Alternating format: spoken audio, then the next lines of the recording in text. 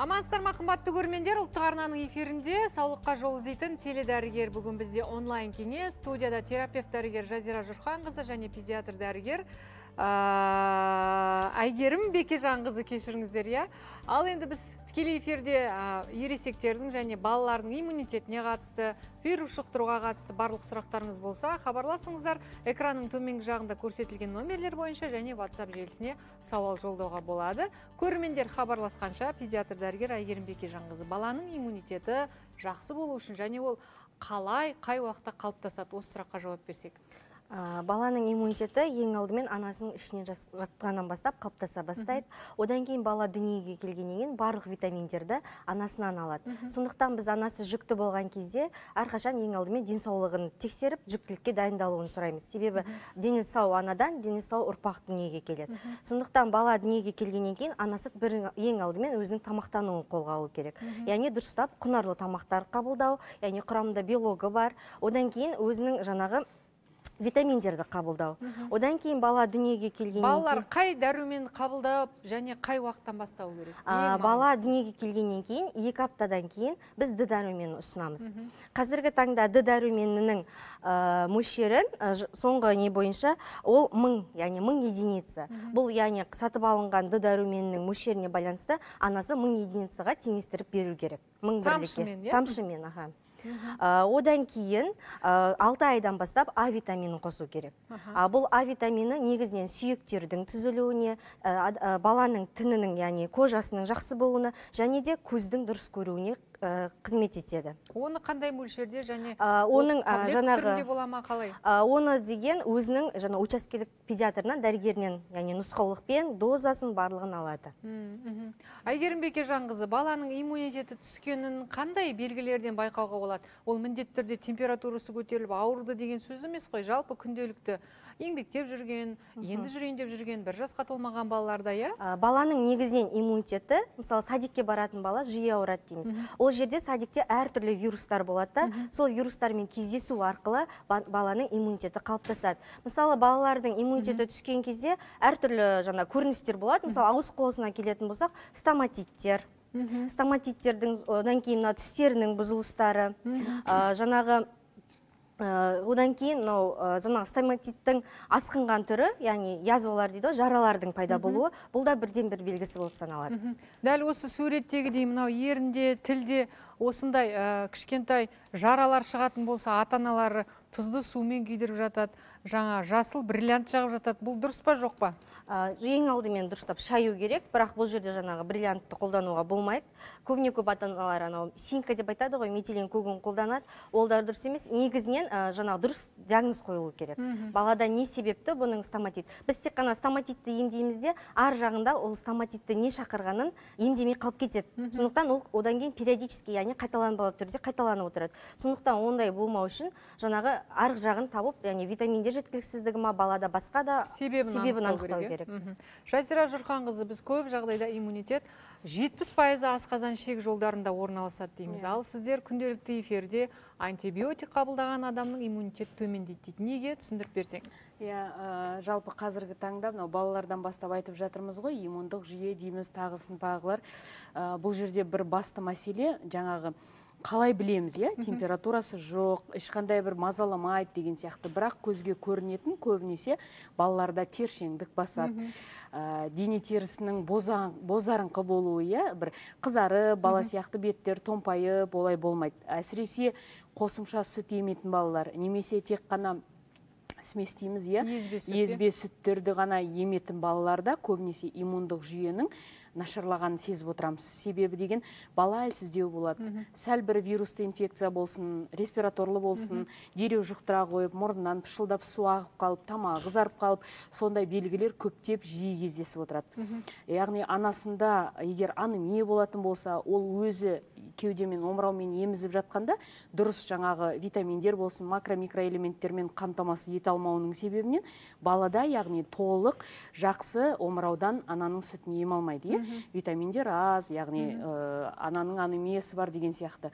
Сол сияқты жаңағы айтып отырмыз ішектердегі антибиотиктер енгізілгеннен кейін ішектердегі қалыпты микрофлораның жұмысы енді мынандай мысал ретінде көрсетейік ә, бізде егер антибиотик не істелініп жатса жаңағы салынып жатса ішіп жатса бұны біз енді ішектеп салыстырмалы түрде алдық. Мынау біздегі ә, қалыпты микрофлоралар иә әртүрлі қалыпты микрофлоралар. Бұлар не істейді? Тамақты қорытуға әртүрлі біздің иммундық жүйені нығайтуға көмектеседі. Сонда біз мысалы антибиотиктерді алған кезде осылай ә, қалыпты микрофлораны иә шәйіп осылай шәйіп өлтіреді деп осылай көрсеткіміз келіп отыр. Яғни мыналардың бәрі ә, күшін жойып патологиялық микрофлораларға айналады деген сияқты. Мына біздің қалыпты микрофлораларымыз жабысып тұрған жойылып азайып кететін иә. болып тұр иә? Ақырындап осылай осылай ә, түсе бастайды. Көрдіңіз ба түседі деген енді мына жерде мысал ретінде ғой. Түспейді яғни олардың күші жойылады. Ә, үлкен дәретпен бірге сыртқа шығарылып ә, азаяды мөлшерлер. Әйгерім бекежанқызы кейде мысалы бактериалдық инфекция жұқтырған балдарға антибиотик тағайындап жатады дәрігерлер. Осы кезде баланың іш өтуі бірге жүреді. Иә. пробиотиктер не істейді қалай ішеді айтып берсеңіз иә? Ол жаңағы тағайындалған дәрігердің тағайындауымен антибиотик тағайындалғаннан кейін ол анасы жаңағы ой дәрігер оған пребиотик тағайындайды. Мысалы қазіргі таңдағы тағайындалып шығарып жатқан пребиотиктар пробиотиктердің жаңағы антибиотик ішкеннен кейін бірнеше сағат емес бірден қабылдауға мүмкіндік бар. Сондықтан анасы оны ұмытып кетпейді бірден антибиотик береді одан кейін екінші жаңағы пребиотикті беріп отырады. Сонда балада жаңағы іш өтуі іштің жаңағы диареялардың болмауын алдын алады. Бізге хабарласқан көрермен бар екен. Сәлеметсіз тыңдап тұрмыз. Аты жөніңіз қандай сауалыңыз бар? Айта қойыңыз. Сәлеметсіз бе? Иә. менің есімім айым. Сіздерге сұрағым бар еді. Жеті айлық қызым екі аптадан бері дәреті жасыл болып өтіп жатыр. Ә, мен оған ем дәрігердің тағайындауымен энтарежоменафорте сосын фурозалидан деген таблетканы бердім. Ә, бастапқы күндегіден аздап азайды. Жеті сегіз рет болатын. Бастапқы күнде ал қазір үш төрт реттен түсі жасыл түсті. Кәдімгі шөптің ез ұстаған сияқты түсті де. Соны мен түсіне алмай жатырмын қоймай жатыр. Мхм түсінікті. Әйгерім саламатсыз ба? Ә, екі апта деген ол бұл балада уже обезвоживание яғни сусыздану себебі екі аптадан бері ол ә, жаңағы іш өту үшін ұзақ уақыт. Одан кейін біз диарея деп аламыз егер де жаңағы дәреттің үш реттен жоғары болуы. Бұл балада энтерожермені беріп жатқаныңызға қанша уақыт болды? Бір апта беріп көрдім бірақ нәтиже болған жоқ. Қазір беріп жатсыз ба? одан кейін Қазір- мен басқа дәрі соны сіздерден сұрайын деп едім не істеу керекпін деп. Баланың қазір кожасы ан, қандай мысалы ұстап қараған кезде құрғақ. Кожасы қатты құрғақ емес су беріп жатырмын. Мхм. бала еме ма? Мазасыз емес па? Бала мазасыз емес бастапқы сол үш төрт күнде қатты маза мазалы болды іші күшеніп жылады. Одан кейін сол дәрілерден соң басылды. Ал бірақ іш жүруі басылар емес. Тек қана жасыл түсті ма қосымша жаңағы слизь дейді ғой басқа бөлінділер бар ма? М, тек қана жасы жаңағы шөпті езген сияқты түрі сондай. Мөлшері қандай? шыққан сияқты болады. Мөлшері бастапқыда аз аздан жиі болды ал қазір кішкене көбейген үш төрт ас қасық сіз өзіңіз емізесіз ба әлде қосымша тамақ бересіз ба? Соңғы уақытта диетада өзгерістер яғни рационда? Тек қана емізіп жүрмін. Көбінесе қосымша тамақты мен сол ішіп жүріп жатқан соң қазірше бермей жатырмын. Тек қана фрукты жеп жүрген жеміс жидектер ғана. Мхм. бұл жерде жаңағы баланың негізгі жалпы жағдайын бақылау керек. Сіз сондықтан өзіңіз үйге дәрігеріңізді шақыртыңыз. Мхм. себебі бұл екі аптадан бері тоқтаусыз болып жатқаннан кейін одан кейін яғни ешқандай асқынулар болмау, болмау үшін дәрігер бақылау керек. Егер баланы стационарлық жағдайға жіберуге көрсеткіштер болса сіздерді стационарға жібереді ем қабылдауға. Үйде баланы ұзақ ұстауға Үйде болмайды? ұста- ұзауға болмайды. Себебі бұл жерде екі апта уақыт. бір күн емес екі күн емес екі жеті жаңа он төрт күн уақыт өткен. Айым сондықтан сіздерге дәрігерді шақыртып егер емделу қажет десе стационарға барасыздар. Анализдер тапсыру керек шығар. иә не себептен іші өтіп тұрған. Соның бәрін керек. тапсырып көру керек балаға. Қандай? Капрограмма жаңағы калды баланың калын тексереді. Содан кейін жаңағы калды ә, бакпасев дейді жаңағы тоже сондай тапсырады. Бұл жерде жаңағы не себепті түсі жасыл оның құрамы қандай қандай заттар бар соны анықтайды. Айым сізге түсінікті ма Жа- жазира жақсы жатқанқызы иә? барлығы түсінікті. Түсінікті рахмет көп. Айымға бір айтатын жағдай ә, егер де өзінің рационы бұзылмаса аяқ астынан осылай өзі жасыл жаңағы ә, іші өтіп баланың жеті сегіз ретке дейін көбейген болса анасының сүтін тек қана емізіп жатыр ғой айым. Сондықтан да анасының сүтін ә, стафилококқа тексеру керек болады. Оны олимп зертханасында жасайды. Е, тыңдап отырған болса айымға иә. Сүтін міндетті түрде баланың ә, анализін обязательно иә міндетті түрде кал үлкен дәретін анализ тапсыруыңыз керек болады. Иә сонда шыққан әртүрлі инфекция ма қандай да бір зат болатын болса ол неге бұлай не істеп жатыр жасыл болып өтіп жатыр иә? Бұрын сары болып кәдімгідей ә, қалыпты жағдайдағы болған нәжісіңіз сізде өзгеріп отыр. Сондықтан да бұл жерде дәріні емес болған оқиғаны ғана емес соның источнигін дейміз иә? Соның түбін табуымыз керек біз неден болып жатыр. Сол кезде ғана сізде ем дұрыс болады. Ана сүтін анализге тапсырған кезде сол барған кезде ғана сауады ма? Жоқ үйден алдын ала. Өздері дайындап айтады. Ол қай жерде қай лаборатория қалай алатынын айта алмаймын. Өйткені бұл қай регионнан екенін білмейміз. Сондықтан да қай лаборатория қалай алады өздері айтады дайындықты. Айым сізге түсінікті ғой. Иә түсіндім. Рахмет жақсы рахмет хабарласқаныңызға. Енді мамандар адамның иммунитеті қалыпты жағдайда болу үшін әрине дұрыс тамақтану ұйқы дейді және суда жүзудің шомылудың да пайдасы ұшан теңіз дейді. Енді дүниеге келген сәбиді қалай шомылдырған дұрыс оның ережелері бар ма? Әсіресе енді ғана алғаш рет ана болып отырған көрермендерімізге бейнематериал дайындаған едік бірге көрейік.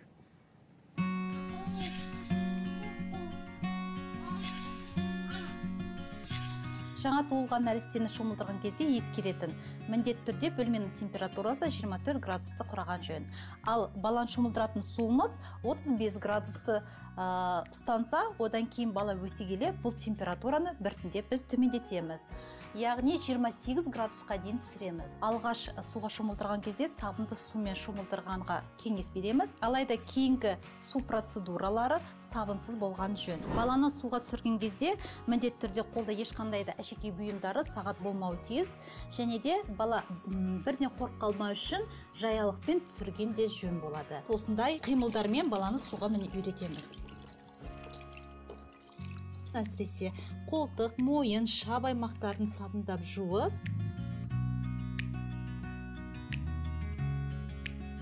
баланың ә, басын ең соңынан жуғанда дұрыс болады. Себебі ә, кейбір балалар басын жуған кезде мазасыздануы мүмкін. Міндетті түрде алдымен басын осы суменен сулап алып аздап сабын тигізіп шайып тастаймыз. Ер балаларды шомылдырған кезде жиі ата аналардың тарапынан жасалатын үлкен қателік былай ер балаларды ашып жуудың қажеттілік болмайды. Себебі ол жерде табиғи смегма жағындысы болады сол өзі бактериоциттік әсер беріп тазалап тұрады. Ал қыз балаларда алдынан артқа қарай жуған дұрыс болады. Енді сабынмен баланы жуындырған кезде міндетті түрде таза сумен шайып аламыз. Оған бір адамның көмектесіп сол суды құйып тұрғаны жөн болады. Бізде мамасы көмектеседі сәбиіміздің. Мінекей баланың басын құлағының қатпарларын бәрінде шайып аламыз. Баланың басына суды құюдың қажеттілігі жоқ және құлағына да яғни бұл жерде құлағының артына су кіріп кетпес үшін біз соның алдын алып жатырмыз. Қолтық аймақтарын міндетті түрде алақанын ашып алдынан баланы алдынан баланы шайып жібереміз мойнын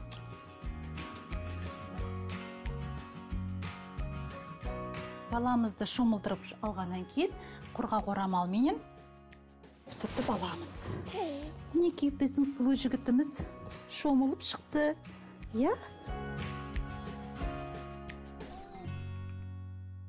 өзі сондай сүйкімді тіл көзіміз тасқа және жыламайтын бала екен. Көп жағдайда ата аналардың әжелердің мазасы кетеді. Балалар суға түскенде шыңғырып бақырып жылайды. Оның басты себебі неде әйгерім бекежаныңыз? А, жаңағыдай баланы суға түсіріп жатқан кезде баланы бірінші дайындау керек. Бірінші жаңа разминка жасап алу керек. Сосын жаңа суға түскенде көрсетті ғой астында жаңа пеленка болмаса көтеріп тұратын нәрсемен. Себебі бала бірден түскен кезде қорқып жылап кетеді. Жаймен суға үйрету керек. Одан оның айналасында бәріміз шулап жүргеннен кейін де дауыстарымыздан да қорқатын шығар иә? бала қорқады. енді ең бастысы бірінші кезекте сабындаймыз одан кейінгі жай суға шайып жуындырамыз дедік. Енді біз өзімнің де тәжірибемде болды айтайын марганцовка болсын ол түймедақ болсын череда дейміз тұзды су болсын күн сайын алмастырып шомылдырдық.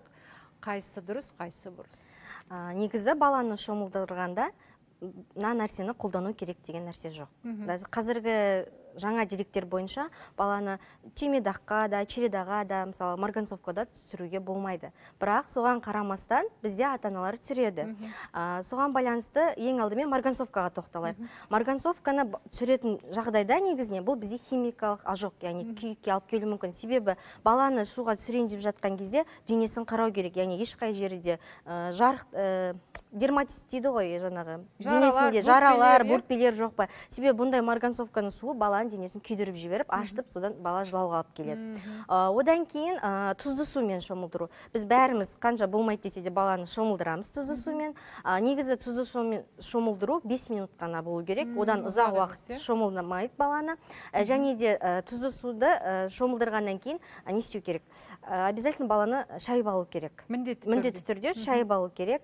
Одан кейін череда. Череданы көбіне көп балаларда жаңа потница дейді ғой ыстықтықтан шығып кеткен кезде аллергиялардың ә, жаңағы денесінде бөртпелер болған кезде ата аналар шомылдырып алады. Негізінен жаңағы чередадан кей жағдайда көп бала қазір сезімтал. Яғни денелері өздері аллергияға бейім болады. Сондықтан шомылдырмас бұрын баланың ешқандай реакция жоқ па бір дененің кішкене бөлігіне көру керек. А, одан кейін түймедақ пен ромашка бізде шомылдырады. Бұл бізде как противовоспалительный жаңағы денесін қалыпқа келтіруге байланысты қолданылады. Одан кейін сабын. Сабынның яғни ешқандай иісі болмау керек өзі арнайы балаларға арналған деген болу керек. Сонымен шомылдырамыз. Одан кейін ә, шомылдырып болғаннан кейін баланы майлау.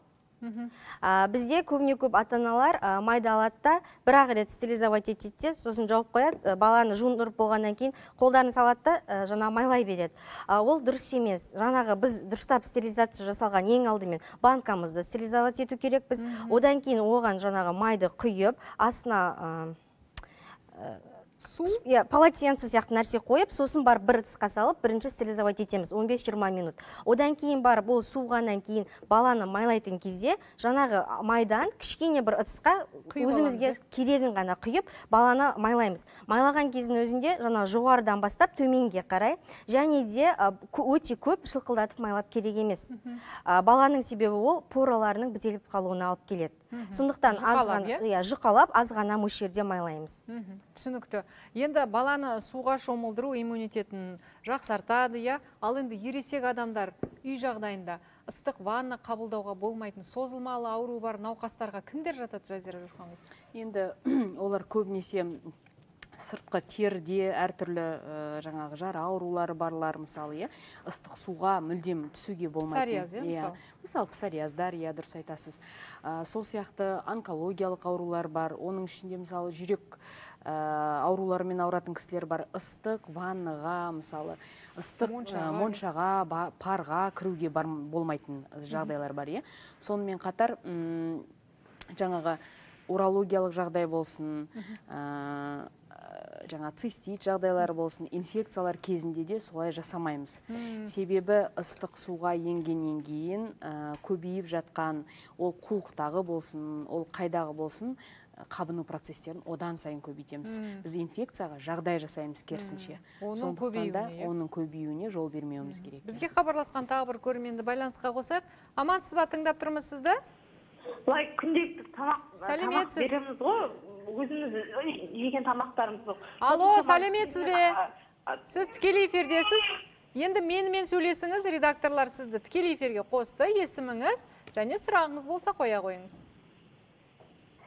Теледидардың дауысын басып қоямыз. Алло? Анасы? Алло, иә сәлеметсіз? Айта қойыңыз. Ә, менің есімім айнамкөз Ә, менің баламның жасы бір жас төрт ай. Мхм. Ә, былай жалпы өзі жүрмейді былай еңбек еңбекте еңбектейді. Ә, былай күнделікті ішетін тамағы иә. айран ішеді қосымша тамақтары үйдің тамақтарын сосын магазиннің а, кассаларын былай беремін жалпы. Ондайға тәбетім жоқ. Мхм салмақ қоспаймын салмағымыз аз. Мхм. Тәбет ашатын қандай тамақтар беруіме болады?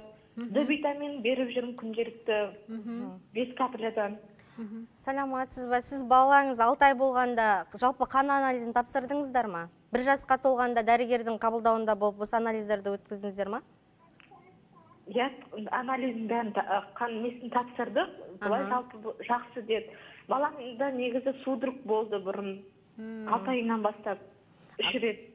Қандай судороги ол фибрильный ма? Температура жоғарылаған кезде бірге жүретін судороги ма әлде басқаша иә сізде ме? иә иә иә. Жоқ ы, бастапқыда температура отыз сегіз болған уақытта өзінің денесін көтере алмаған уақытта судорог болды. Содан кейін балада инфекция болды іш өтуі жаңағыдай. Күнделікті уже төрт бестен жоғары іш өтуі жасыл болды. Одан кейін инфекционный болды. Цитомегаловирусный инфекция болды.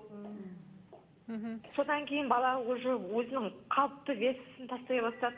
Салмағын мық- мықты сал- салмақтан айырылып қалдық біз деген. Енді салмақ қоса алмай жатырық былай қосымша тамақтарды берем. Тамаққа көп тәбеті жоқ. Бірақ көбіне ішетіні айран. Қандай айран бересіздер? Үйдің айраны ма магазиннен аласыздар ма? А- айстікін береміз нағыз деген айранды береміз Жоқ, екі де бес. сосын қосымша айс деген жаңағы қарлы ішінде тәттісі қанты бар иә? Түсінуімше. Жоқ қанты жоқ нағыз деген айраннан береміз екі де бес. Бұл айрандардың барлықтарының негізі құрамында жаңағы балаға денсаулығына мысалы кейбір ата аналар тәтті де беріп қояды бірақ мына жерде тәтті емес еді. Ол керісінше жаңа иммунитетті түсіре береді. Тек қана бала тәттінің дәмін сезеді де ал былай ә, жаңа салмақ қосуына ешқандай әсер етпейді. Одан бөлек ә, жалпы қан анализін тапсырған кезде сізде анемия жоқ деді ғой иә? Жоқ жоқ Ә, қалыпты жаңағы темірге сывороточный железо барлығына тапсырдыңыздар ма? Барлығын ана инфек- инфекция цитомегаловирус инфекциямен ауырған кезде қан анализін бәрін тапсырдық. Бәрі барлығы балада жақсы. Енді бала сол а, цитомегаловирусымен ауырғаннан кейін уже біз салмақ қоса салмақ қосуымыз мықты төмендеп кетті. Қанша жерден мысалы қанша уақыт өтті арасында? Мысалы сіздер дәрілеріңізді қабылдап барлығын повторный анализдарыңызды тапсырдыңыздар ма? Повторный анализ тапсырдық. Одан ы, ол инфекциямен ауырып болғаннан кейін тапсырғаннан кейін барлығы жақсы деді одан кейін судорожныйдың несін ә, гипокенді іштік. Барлығы жақсы. Қазір бірақ судорога жоқ. Салмақ қосу бұл жерде бұл кісілердегі судорог ол жаңа фибрильді судорог деп аталады. Жаңа температураның негізінде пайда болған судороги одан кейін мынау цитомегаловирусқа келетін болсақ бұл белгілі бір яғни инфекция былай айтқанда жаңағы организмде жүрген. Бұны жаңа емделгеннен кейін де оның жаңағы енді организмнің қалыптасу уақыты. Сондықтан жаңағы қалыптасу уақыты жүріп жатқанға байланысты бұл бала бірден тамақ ішіп кетпейді. Яғни бірден аппетиті ашылмайды. Жаймен ә, жаңағы өз орнына келеді. Мысалы бірнеше яғни бір айдың ішінде немесе екі айдың ішінде бала жаймен салмақ жинай бастайды. Анасы тек дұрыс тамақ беруді б- тоқ- күн сайын керек. неше түрлі тамақтар иә беріп әртүрлі керек, баланы иә? қызықты қызықтыратын мысалы көкөністер мынау брокколи сияқты мысалы капустаның түрлерін қайнатып одан кейін кішкене кішкене қылып баланы үйрету керек тамақ жеуге. Және ет өнімдерін ет өнімдерін. Айнам көзге түсінікті болды деп ойлаймыз. Бізде қазір шағын ғана үзілістің уақыты. Одан кейін дүниеге келген балаға бір жасқа толғанға дейін ә, денесіне уқалау яғни массаж жасаудың жолдары қандай деген сұрақтарға студияда жауап береміз. Жалпы бүгін бізде онлайн кеңес терапевт пен педиатр студияда. Хабарласыңыздар сұрақтарыңызды қойыңыздар. Теледәрігерлер жауап беруге дайын. Саулыққа жол іздейтін теледәрігер эфирде бізге хабарласқан көрермен бар. Сәлеметсіз тыңдап тұрмыз? Аты жөніңіз сауалыңызды қоя қойыңыз. Теледидардың дауысын басамыз иә сәлеметсіз. Келінім босанғанына екі аптадан асты да денесінде сарғы болып келді келгеннен сонда врачтар айтқан екен көбірек емізсең кетіп қалады деп мхм. сол күнге жатқызып жатырмын күн ана д витамин жесін деп сағат он бірден он екі бірге дейін соған андай нелер бола ма таблетка ма сол кетіретін сіздерден сұрап сұраған апа атыңыз кім атын келінім атын айта берейін ба айта беріңіз иә тәжібаева ділназ мхм, дильназ ділназ саламатсыз ба А, бұл жерде ең алдымен екі апта баланың қалай сарғыштығы қай жерінде екенін көру керек яғни баланың тек қана бетінде денесі денесінің бәрінде бар аяғында да бар ана қарында да бар алақанында жоқ па табаны мен алақанында сарғыштық алақанында жоқ табанда алақанда жоқ Мгм. Ең алдымен сіздерге билирубин тапсыру керек. Яғни кейбір балаларда жаңа физиологиялық сарғаюдан бөлек ұзақ уақытқа созылған сарғаю да жүреді сондықтан ең алдымен билирубиннің көрсеткішін көру керек. Қан анализі иә үйге қан анализін алуға шақыртуға болады. Ә, мысалы әртүрлі лабораториялар келеді өздері баланың жаңа ауыртпай жылатпай алады. Одан кейін бір күннің ішінде результатын көреді. Сол жаңа шыққан результатпен дәрігерге яғни шақыртып үйге көру керек. Ә, мүмкін ол балаға жаңағы ә, билирубиннің мөлшеріне байланысты ә, жаңағы фотолампа тағайындалады. Егер де көрсеткіштер болса стационарға яғни билирубиннің мөлшері бұл жерде қараймыз. Ә, билирубиннің мөлшері мысалы үш жүзден асқан жағдайда және де баланың динамикада өзгерістер болса баланы стационарға жібереді. Апа сіздер қайда тұрасыздар? Біз сарыағаш ауданы дарбаз ауылында тұрамыз А, ауылдық жерде тұрады. Не істейді жазира енді былай жаңағыдай түсінікті болсын деп айтайық. Ә, жас нәресте өзі былай қарасаңыз басынан мойын аймағына дейін ол бір зона деп аламыз. Мойыннан ә, шап аймағына дейін ол екінші зона деп аламыз.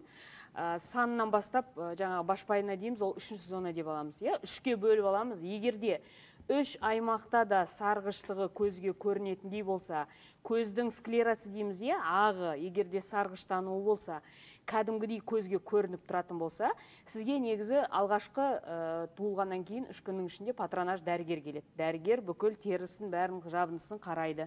Егер мысалы дәрігер жоқ болған жағдайда да қазір 14 күн ба 14 күнде сыртқа шығуға болады. Ештеңе етпейді. Екі күн үш күндік бала емес.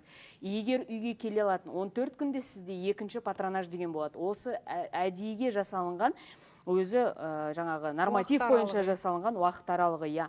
14 күнде сізде теріде өзгерісіңіз кеткен жоқ емуінің жағдайы баланың салмақ қосуы деген сияқты барлығын үй жағдайындағы бүкіл сіздің неңізді қарап тексеру керек иә. Егер ондай жағдай болмаған кезде үйге лаборатория шақыра алмайсыз ауылды жерде болсаңыз жаңағы аудан орталығына барып лабораторияға барып жаңағы билирубин деген затты тапсырасыз оның ішінде тікелей және тікелей емес деген болады. Сол екеуін көріп қанның құрамында жаңағы айтты ғой жаңа әріптесім иә өскеніне байланысты үй жағдайында ә, өтті кішкене тамдыратын бауырдың клеткаларын реттейтін дәрілер тағайындаймыз. Олардың бәрі қолжетімді балаға ә, жаңағы нұсқаулықпен әп беріліп емделіп кете береді. Оны амбулаторный дейміз үйде емделу иә. Болады ә, затяжной дейміз иә ұзаққа созылған конъюгациялық ә, сарғаюлар болады. Ол кезде ол немен ә, жаңағы опасный жаңағы? Қауіпті иә? Қауіпті. Неге қауіпті? Ол бас миындағы әртүрлі біздің қыртыс ми орталықтары бар иә.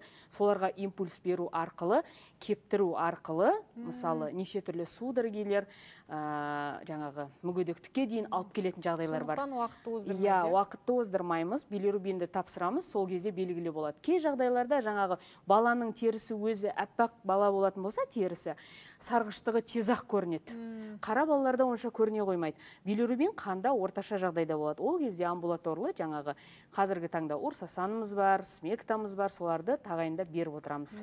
Апа сізге түсінікті ғой? Ә түсінікті. Жақсы рахмет. рахмет. Немереңіз ауырмасын тезірек өсіп кетсін иә. рахмет сізге де хабарласқаныңызға. Енді дүниеге де сәби келгеннен кейін біз олардың өсуін ауырмауын шымыр болуын қалаймыз. Және дәрігерлердің кеңесімен бала жасқа толғанша үш рет массаж алуды кеңес береді иә? Енді үй жағдайында уқалауды массажды қалай жасауға болады?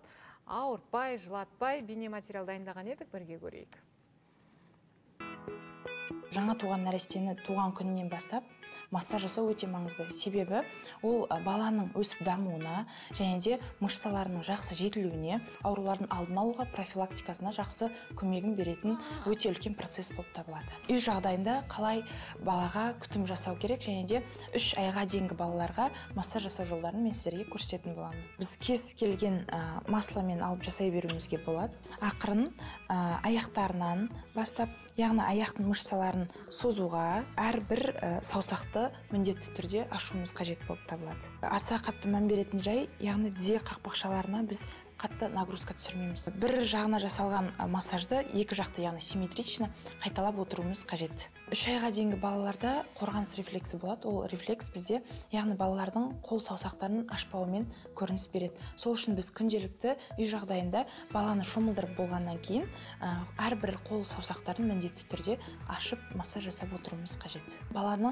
екінші күннен бастап уже біз ішінен жатқызуымызға болады. Ол балаларда ешқандай тұншығып қалу деген қорқыныш болмау керек. Себебі ол балаларда өздерінде қорғаныс рефлексі сақталады. Балалар ішінен жатқызған кезде өздерінің бастарын оңға немесе солға қозғалтып ә, өздеріне ә, жағдай жасай алады. Дисплазияның алдын алу үшін бір аяғын фиксациялау арқылы ұстап отырамыз қолымызбен және де екінші аяғын 90 градуста яғни барынша айналдыру арқылы ашуымыз қажет. Балаларда көп кездесетін ә, іш қатуына байланысты үй жағдайында іштің бұлшық еттеріне массаж жасауымызға болады яғни оны біз сағат тілімен айналдыра отырып ә, массаж техникаларын жүргізуімізге болады. Ішінен жатқызған кезде арқа бұлшық еттеріне мойынның ә, бұлшық еттеріне көмек беретін массаж техникаларын жүргізуімізге болады.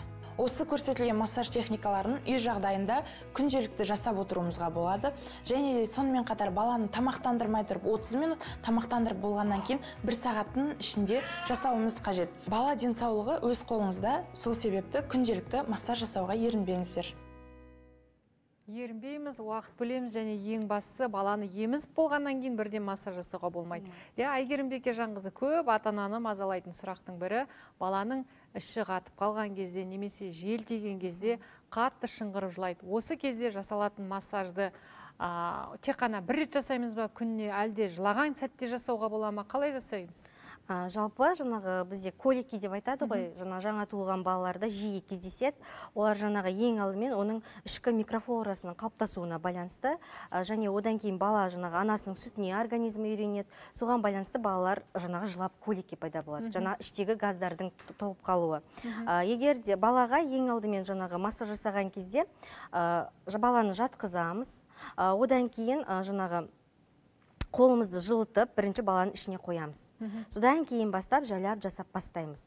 Жасаған кезде баланың ә, сағат тілімен айналдырып қолымызды мына артына қоюға болады. Мысалы бүйтіп жасап айналдырамыз. Ә, одан кейін екі қолымызды алып мынау жаңағы ортадан шетке периферияға қарай жасаймыз. Қатты баспаймыз иә? қатты баспаймыз. Ә, қатты қолымызды кіргізбейміз.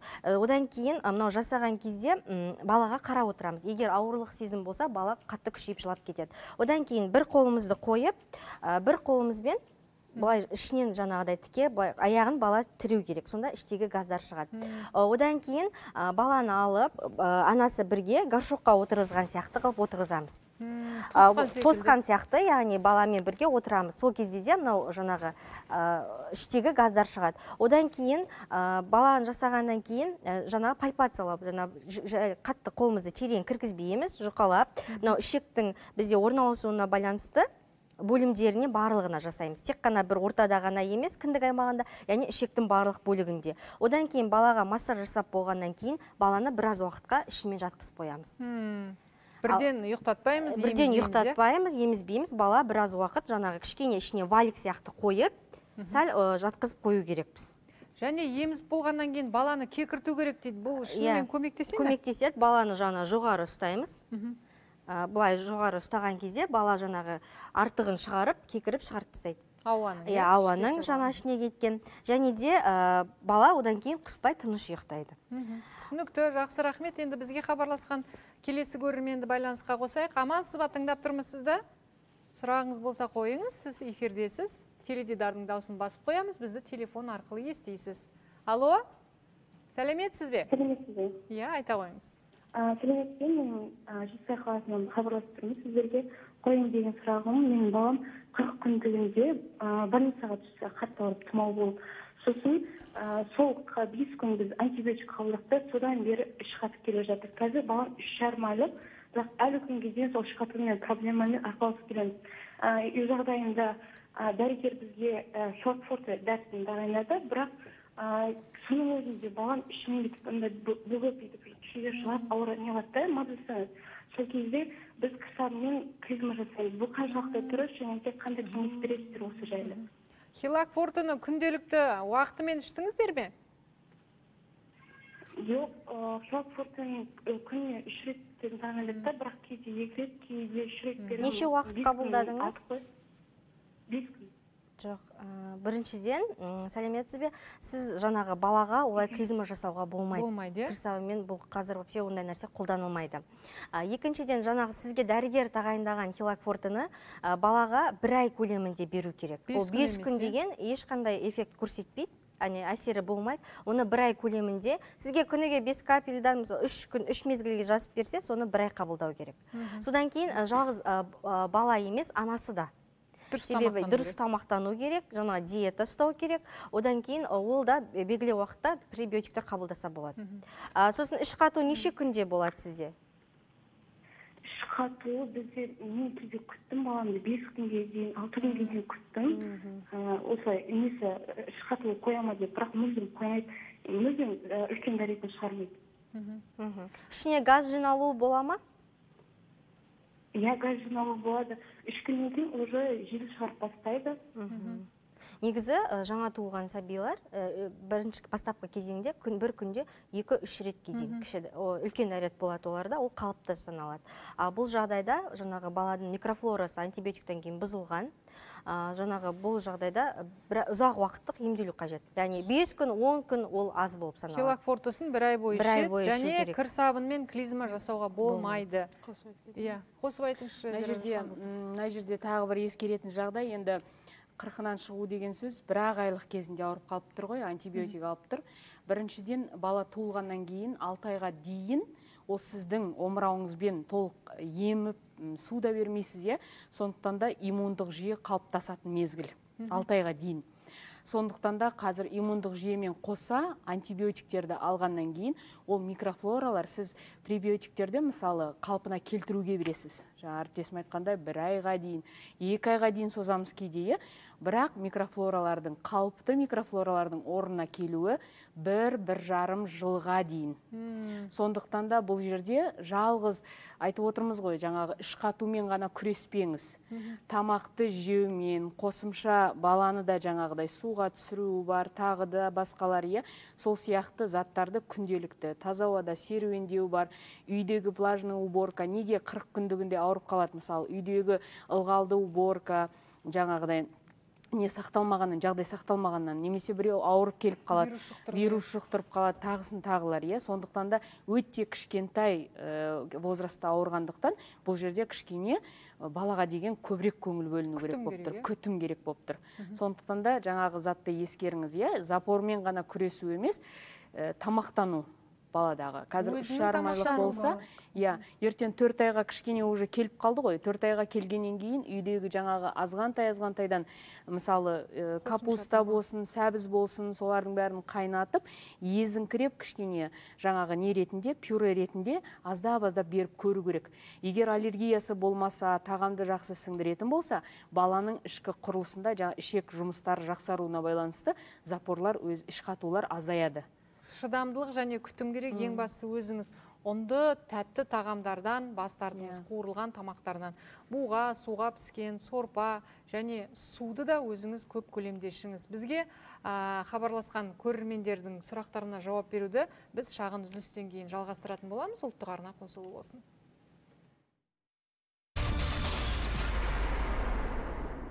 Саулыққа жол іздейтін теледәрігер эфирде. Бүгін бізде онлайн кеңес бала күтімі денсаулығына қатысты дәрігерлер кеңес беруде ақпараттармен бөлісуде сіздермен.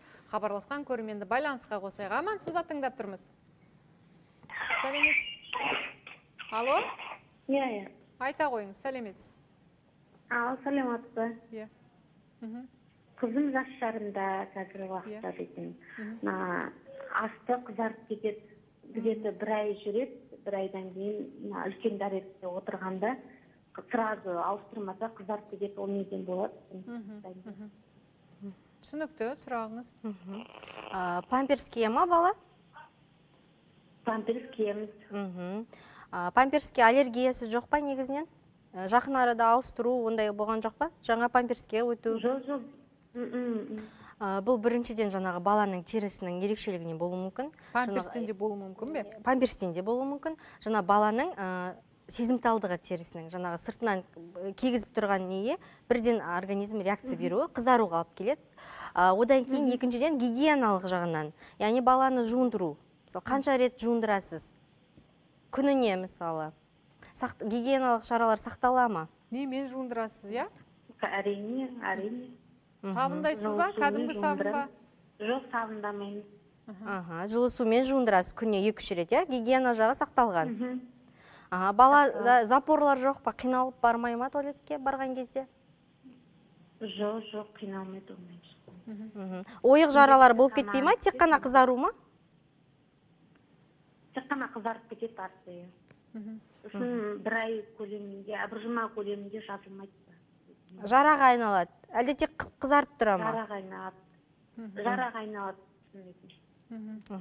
негізі бұл ә, балаларда көбіне көп болады. Пеленочный дерма баланы памперс кигізбей жүргіземіз деп жүргізіп көрмедіңіз ба? Біраз уақыт памперссіз бір жарымға келген бала горшокқа жаймен үйретуге болады ғой. Горшокке отырмай тұрып қой сол Ә, тосып үйреткен жоқсыз ба балаңызды? Жоқ жоқ үйреткен жоқ. Бір жарым жастағы бала бір жарым жастағы баланы жаймен ә, горшокқа үйрету керек. Және мына жөргекпен жүргеннің иә. өзі де ауа жібермейді ауа жібермейді бір жағынан. Жаңа біріншіден бұл жерде баланы сіз мамасы бір ә, жаймен баланы памперсіз жүргізуге үйрету керек. Себебі бала бір жарым жаста жай горшокқа үйретіп бастау керек одан кейін тосып үйрету керек. Одан кейін а, жаңағы жара болып кетуі бұл бізде пеленочный дерматит деп айтады. Именно жаңағы қызарып ол кейін жараға айналып кетуі. Сондықтан ол жерді әр жаңағы туалетке шыққан сайын жуып құрғатып отыру керек. Содан кейін памперсті ұзақ уақыт кигізбеу керек. Жаңа бір памперспен ә, жаңа ба- памперс толады ғой өзі түсі өзгергеннен кейін ауыстырып отыру керек. Иә. Ә, сізге тағы да бір мына қосып айтып кететін жағдай иә. Ә, памперс енді бір жарым жастағы балаға ә, кеш деп айтайықшы былайша айтқанда. Бір жарым жастағы балаға памперсті алып тастаңыз. Біріншіден екіншіден жаңағы ә, гигиеналық жағдай дегенде сіз мысалы күнделікті бір рет емес әрбір туалетке барған сайын. кіші дәрет кіші дәретке болсын үлкен дәретке болсын себебі біздің нәжісте де зәрде де әртүрлі біздегі бактериялар бар. Вот. Сол жаңағы мысалы ол ә, тек қана анальный отверстие дейміз иә? Бізде көтеншектің жан жақтары қызарып жатса ол сол нәжістегі бар бактериялар қоздырып жатуы мүмкін. Балада ол пеленкаға да памперске де міндетті емес мысалы. Аллергия аллергия емес тек қана сол зәрдің бактерияларына болуы мүмкін нәжістің кешіріңіздер. Ал зәрде де дәл солай. Егер де ол ә, жаңағы көтеншектің маңайында болатын болса ол әрине қуықтың жолы өте жақын. Балаларда да кішкентай возрастарда болып жатады әртүрлі. Өйткені оның бәрін бактериялар шақырады. Сондықтан да бұл жерде гигиеналық жағдай әрбір ә, туалетке барған сайын баланы яғни памперсті алып тастағаннан кейін ол міндетті түрде жаңағы дем алатын кәдімгі бізде трикотаждық киімдер киіледі. Сондықтан да бұл жерде ә, ешқандай қызару болмау керек. Екінші тағы да бір мәселе жалпы баланың тамақ жеуін қадағалаңыз. Глисттар мысалы мына құрттар ішек құрттар болатын болса астрицилар дейміз не дейміз иә әртүрлі простейшалар. Солар болған жағдайда да бала сіз білмейсіз ғой мысалы қышитын болуы мүмкін жаңағыдай. Соның әсерінен де жаңағы раздражение болып қызару содан да болады. Сондықтан да өзіңіз үшін ә, калын тапсырып көре қойыңыз. Құртқа иә тексереміз. құртқа тексереміз. Яйцеглисты и простейший деген анализ болады. Бүкіл жерде барлық қолжетімді тапсырып көруге болады. Иә. Анасы түсінікті ғой сізге. Иә? Мхм раиса жақсы рахмет хабарласқаныңызға. Көп жағдайда ата аналар әсіресе аналар өзіміздің ыңғайымыз үшін баланы жергөкпен жүргізіп қоямыз. Үйде бүлдіреді немесе менің уақытым жоқ тазалайтын деп. Сондықтан да ең бастысы баланың денсаулығы бірінші кезекте болу керек. Ә, денсаулық деп айтып жатырмыз. Ә, қазір вирустық аурулардың өршіп тұрған кезеңінде балаларға қақырық түсіретін дәріні қашан береміз қалай береміз ә, беруге бола ма деген сұрақтар көп келіп түседі. Жалпы балаларға жаңа дереккөз дейміз э, емдеу протоколдары бойынша дейміз. Төрт жастан асқан бес жасқа дейінгі балаға берілуге болмайды. Ешқандай шәрбат ешқандай шарбат болсын ол таблетка түрінде шығарылған болсын ол раствор түрінде болсын қандай түрінде де ә, қақырықты түсіретін дәрілерді бермейміз. Себебі ә, баладағы былайша айтқанда мынау бронхтардың ә, жаңағы қабаттары қабат емес ұзындығы қысқа және де олар кең болғандықтан мысалы бірден тамақтағы инфекциялар түсіп жаңағы қоздырып жатқан күйінде де дейміз басқа да дейінде сол кезде егер де отхаркивающий жаңағы қақырық түсіретіндерді беріп жатсақ біз иә біздің ауаны ылғалдандырып тұратын кәдімгі кілегей біздің сұйықтықтарымыз иә солар мейлінше көп бөлініп кетеді да балаларда обструкциялық жағдайлар пайда болады. Обструкция деген не? Бітелу иә? Біздің жаңағы көп кілегей ә, бөлінділеріміз бөлінгеннен немесе қандай да бір кішкене бір э, патологиялық жағдайлар болып жатса солардың әсерінен соны шығарып тастауға не істейді. Сондықтан да ә, қақырық түсіретін дәрілерді бермейміз. Әйгерім бекежанқызы бір жасқа дейінгі балаларды қақырықты түсіретін дәрі беруге болмайтын болса ең тиімді оңай әдіс? Дренажды массаж ә, яғни ол балаларға жасалады. Оны да жасаған кезде баланы кішкене мынау валик қойып ә, ең алдымен қолымыз алақанымыз осылай болу керек. Сәл бұрыштаймыз дейікші. бұрыштаймыз иә саусақтарымызды біріктіреміз. Содан кейін бастап төменнен жоғары қарай жасаймыз. Төменнен жоғары қарай жасалады. Одан кейін жасағаннан кейін жаңа қайталап жасалғаннан кейін жанынан жатқызып жатқыза жасаймыз. Яғни бір жанынан одан кейін екінші жағынан жасалады. Ә, және де ә, бұл бұл жасалғаннан кейін де баланы біраз уақыт жаңағы ішімен жатқызу керек. Себебі біз қақырық тастай аламыз ал кішкентай балалар оны шығара алмайды. Сондықтан ол нәжісмен бірге шығады болмаса құсық ретінде баламен бөлініп шығады.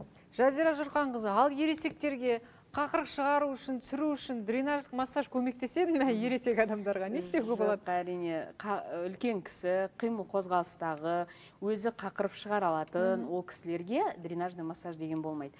Бір ерекшелігі үлкен кісілерде жатып қалған кісілер болады. Инсульттан кейін мысалы онкологиялық жағдай болсын төсек тартып жатқан кісілерде әрине олар тұрып жүрмегеннен кейін қақырықты кейде бір әлсіз жағдайлар болады. Қақырығында шығара Жөтелудің алмайды жөтелудің өзі қиындау. Оны біз м, застойная пневмония деп жатамыз иә. Жатып та төсекте жатып та пневмониялар болатын жағдайлар болады. Сондықтан да ол кісілерге ә, көбінесе қарт кісілер иә ол. Сондықтан да шар кәдімгі балалардың шары үрлетін иә. үрлейтін. Кәдімгі күнделікті бір екі үш мезгілге бөліп соны күтімінде бір кісі болады ғой үй жағдайындағы. Сол кісі кәдімгідей үрлету керек. Мынандай етіп үрлеудің қажеті жоқ. Кішкентай етіп шамасы келгенше шамал шамалы андағыны үрлейді. Ол не үшін? Ол өкпедегі біздегі зат алмасу ә, газ алмасуды реттеу үшін. Себебі қимыл қозғалыс жоқ зат алмасу нашар. Сондықтан да өкпе бізде кіші ғана айналымда ә, үлкен қызмет атқарады. Сондықтан да бұл жерде шарды үрлеп кішкене грудной сбор сияқты бір шөптен жасалған шайларды бір он шақты күндеп ара арасында кезеңмен беріп тұруға болады. Жазира жұрқанқызы енді осы вирустық аурулар кезінде температурасы жоқ адамдарға а, жаңа қақырықты түсіру үшін ауа жұту үшін далаға шығып серуендеуге бола ма? Қақырығы түгел түспесе жөтелі әлі басылмай тұрған жағдайда. Ол ә, птр сынамасы оң жағдайда айтасыз ба? Жалпы тұмау кезінде мынау жөтеліп жүреді оң кейде тапсырмайтындар болады оң ба теріс па білмейтіндер болады иә? енді қараңыз вирустық мынау қазір эпидахуалға байланысты дейсіз ғой. Жалпы егер де птр сынамасын тапсырмаса білмесе ауырып жатқан болса үйден шықпай ақ қойған дұрыс. Үйде үйдің ішінде терезені ашып жақсылап ауаны кіргізіп сол терезенің ашық күйінде тұрудың қажеті жоқ. Сол бөлмеден шығып кетіп 15-20 минутқа бөлмені әбден желдетіп алғаннан кейін кіріп терезені жауып ылғалды уборканы жасаса соның өзі жеткілікті. Жеткілікті. Сыртқа бір 10-15 минутқа шығып келгендей әсер береді. Таза ауа кіріп желдетілген ылғалды уборка жасалған бөлме сондай ә, нәтижесімен болады. Тыныс алу жаттығулары. Көмектесе ме? Тыныс алу жаттығулары көмектеседі. Ә, яғни ол өкпедегі процесстер ә, егер де жаңағыдай патология дейміз иә бір жаңағыдай патологиясы болып жатса ғана нетеміз. Ал егер де тек қана вирусты инфекция болып өзіміз әлсіреп жаңағы ә, тамақ жұтқыншақ та- не мұрын қуыстарындағы инфекциялар болып жатса бұл жерде тыныс жаттығуларын жасамаймыз. Себебі деген біз өзіміз мынау тыныс иә тыныс жолдарының бәрі бітеулі барлық инфекция. Ол кезде біз тек қана шаямыз мұрынды ашамыз деген сияқты иә бүкіл сондай жағдайлар жасаймыз. Ал қай кезде біз тыныс жаттығуын жасаймыз? Бізде жөтел бар кезде яғни қақырық түспей жатқан кезде.